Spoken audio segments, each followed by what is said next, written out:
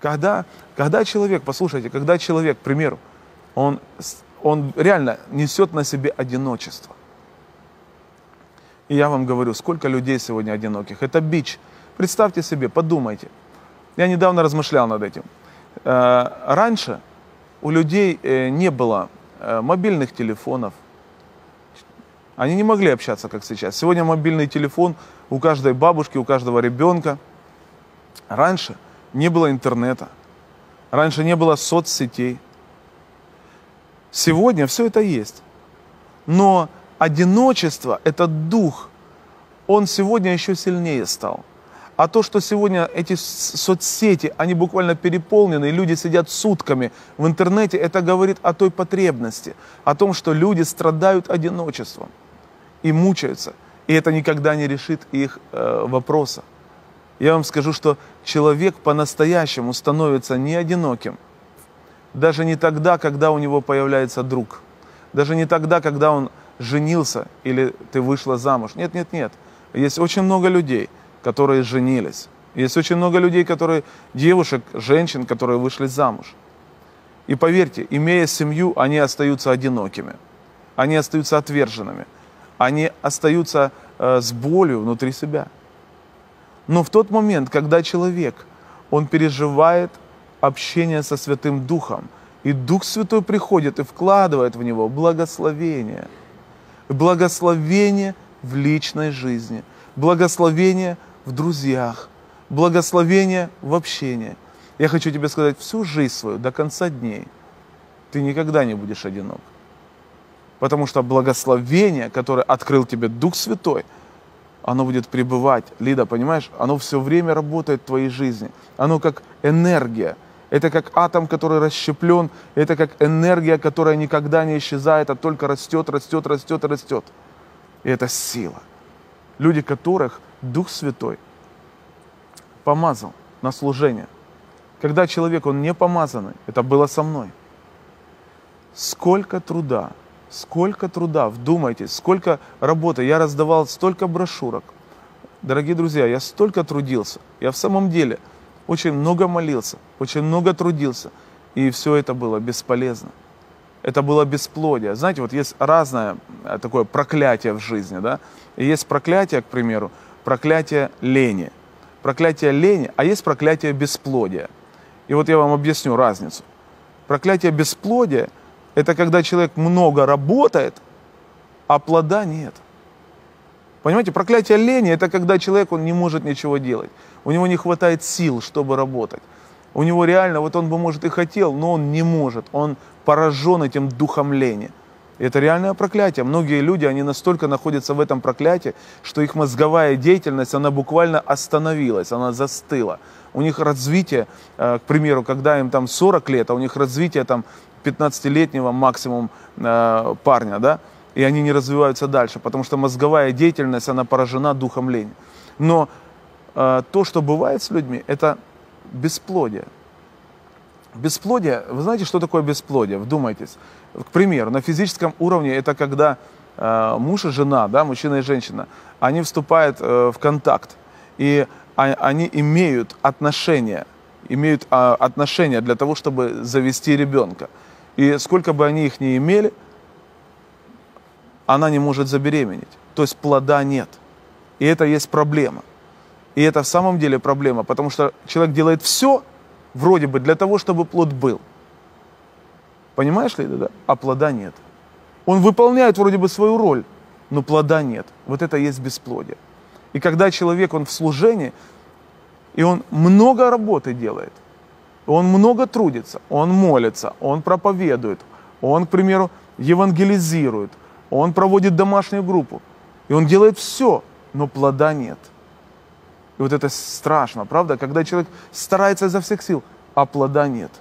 Есть многие люди, которые всю свою жизнь, они пытаются заработать деньги.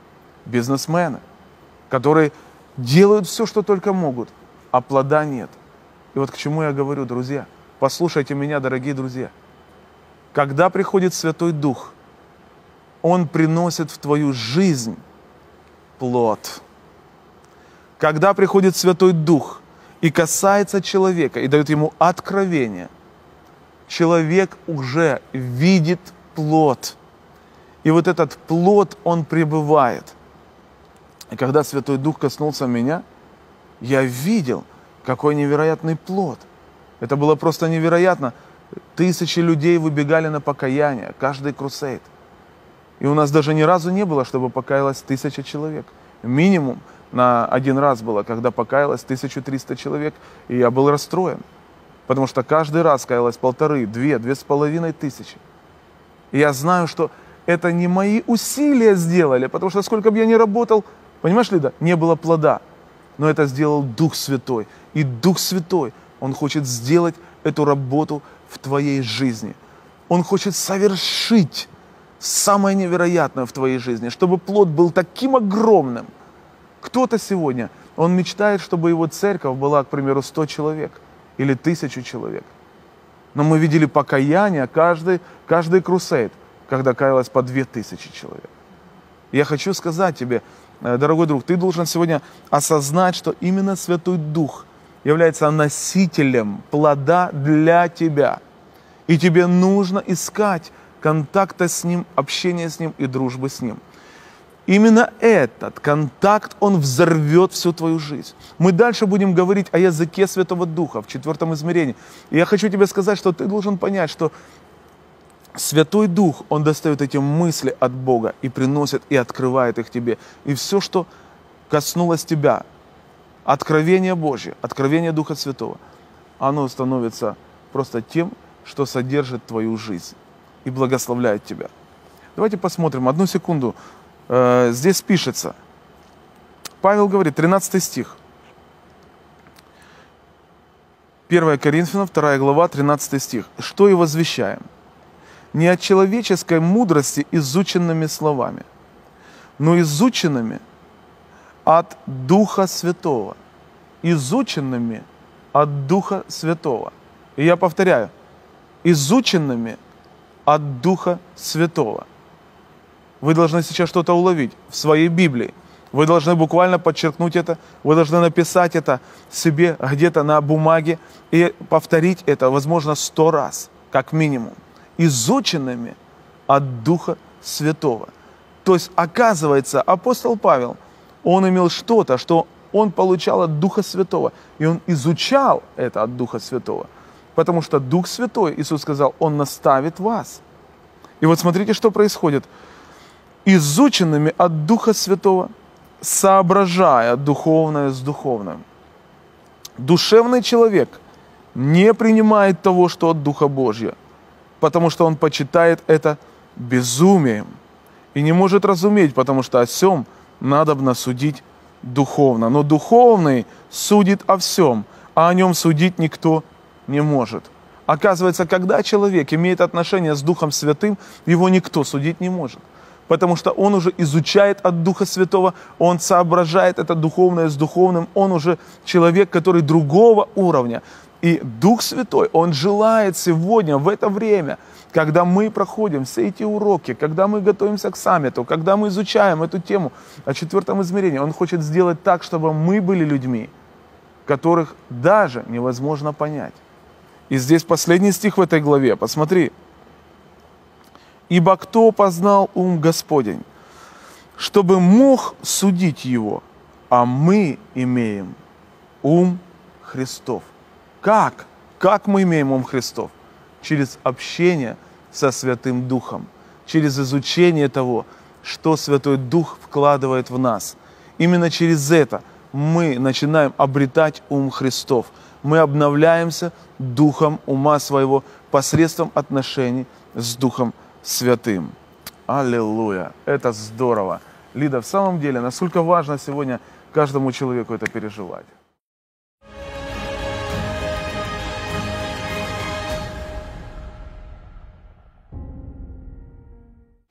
Пастор, а вот ты так много говоришь о Духе Святом. А скажи, какой его характер? Какой он? Качество его характера? Какие? Говоря о Духе Святом, я бы сказал так, что э, мы не можем до конца даже понять, какой Дух Святой. Мы не можем до конца познать, потому что это Бог. И мы можем на личном опыте столкнуться. Знаешь, когда мы что-то прочитали, когда мы что-то где-то увидели в какой-то проповеди. Это очень здорово, потому что это обогащает нас. Но есть какой-то личный опыт и у каждого из нас, и он довольно небольшой. У кого-то он буквально нулевой, у кого-то он уже есть. В моей жизни за эти годы э, я пытался не раз понять, как Дух Святой мыслит, как Дух Святой э, понимает эту или другую ситуацию. Я пытался понять, какой Он, и я продолжаю это делать, чтобы познать Его, как, как Он мыслит, как Он движется, как Он рассуждает.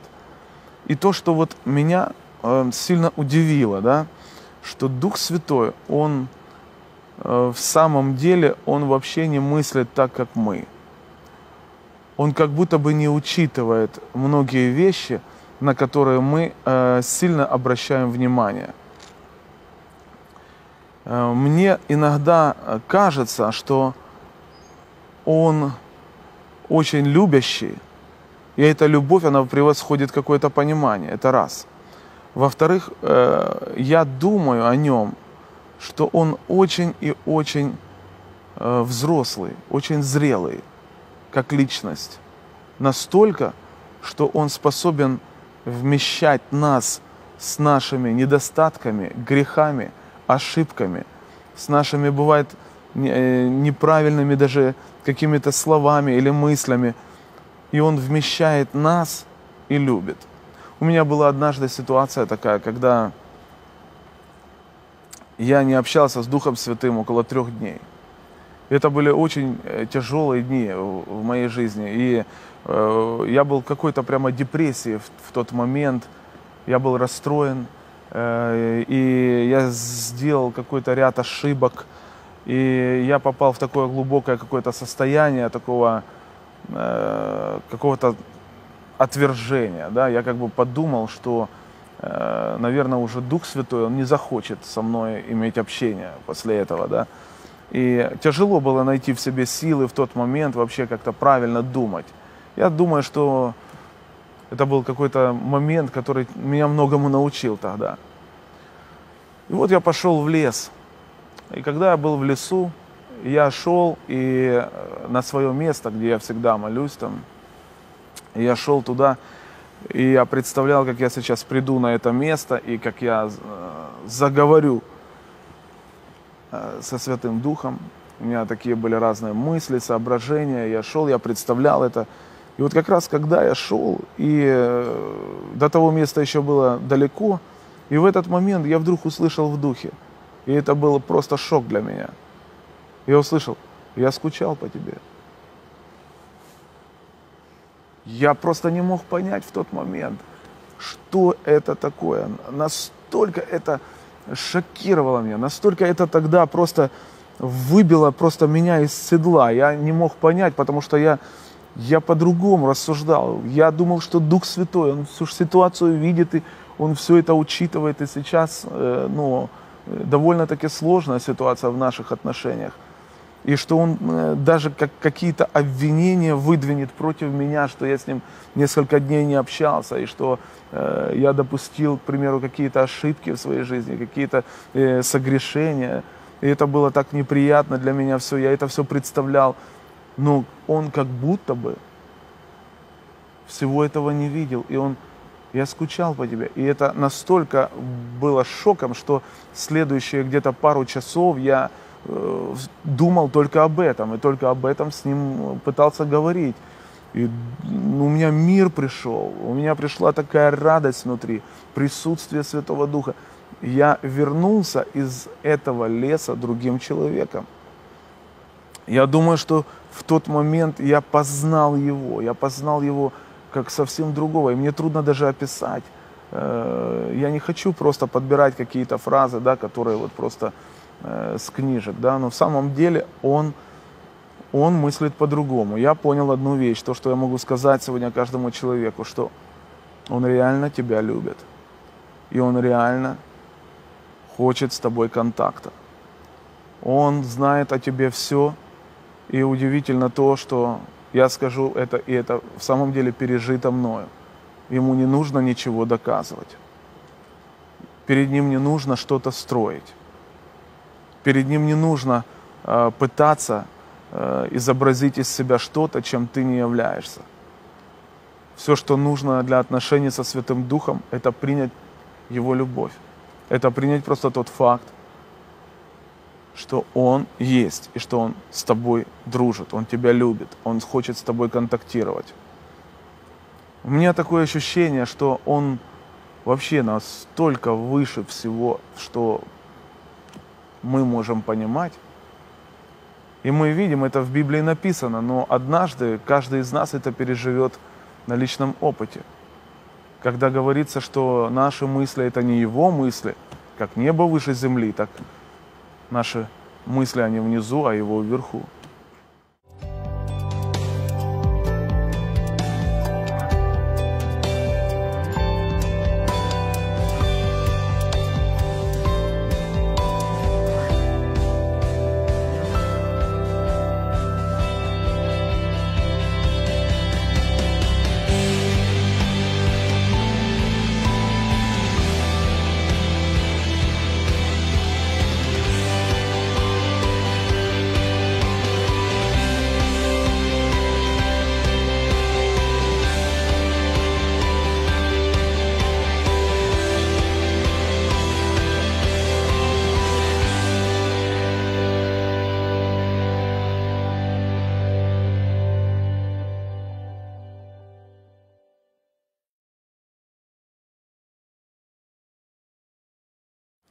Вот в самом деле ты задаешь вопрос за его характер, и это такой тонкий момент. Я думаю, каждому человеку нужно познакомиться с Духом Святым и э, лично познать, какой Он на своем опыте, на своих личных духовных переживаниях.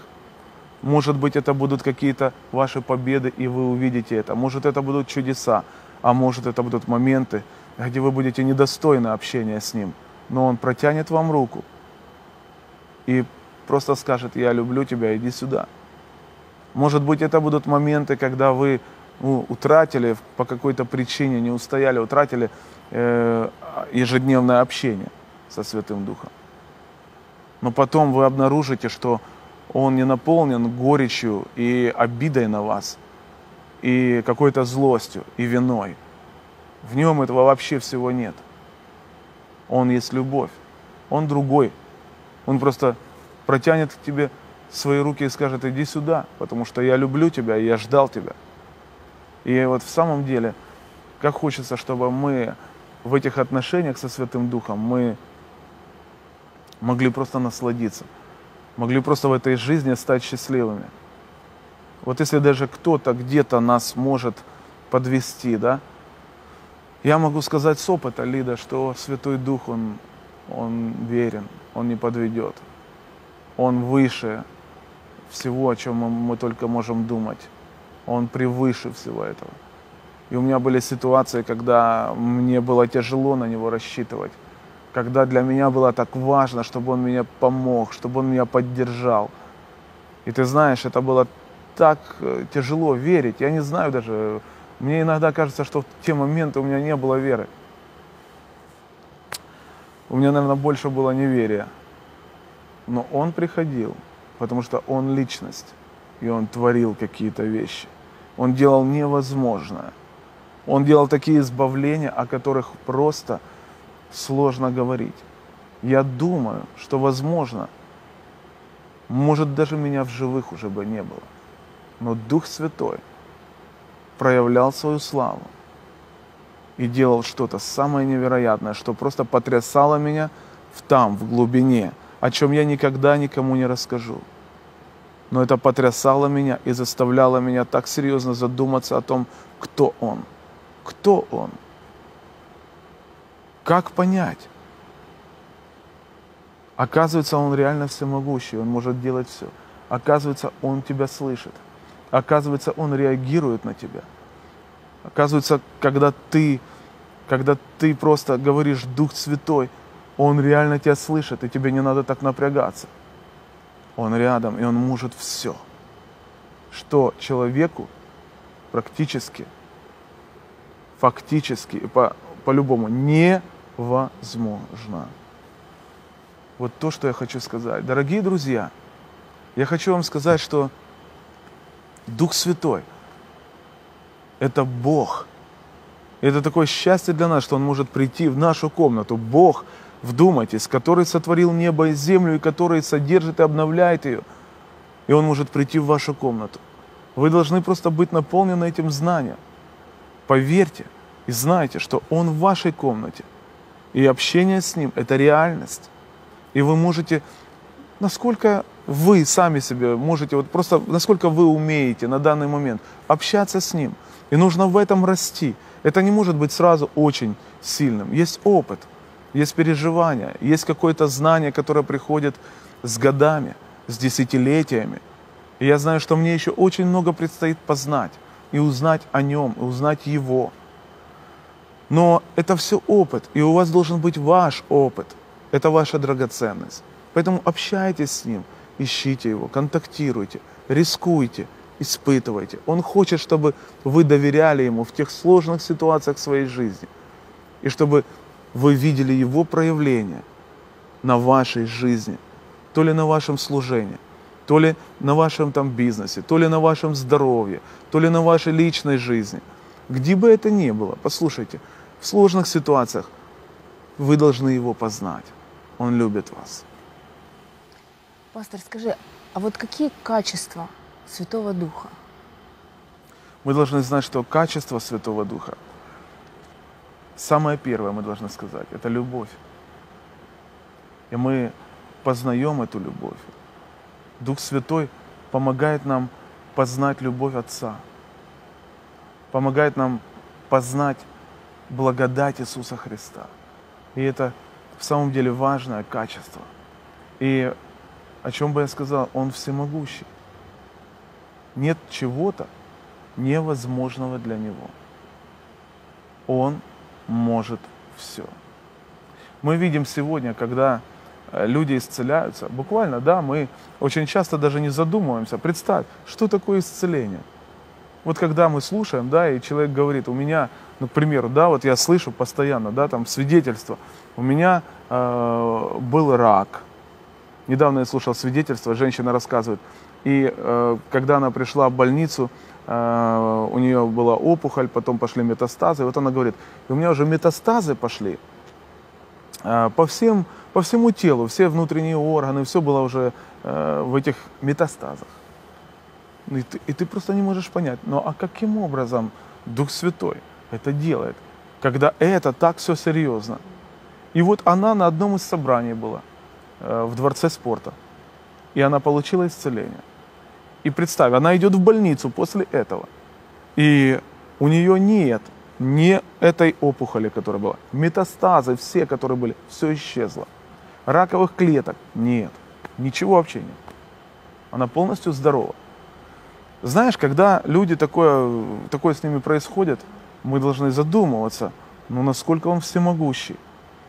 И мы должны взять это всемогущество и как перенести на свою жизнь, сказать, Дух Святой, я хочу тоже переживать Твою славу в своей жизни.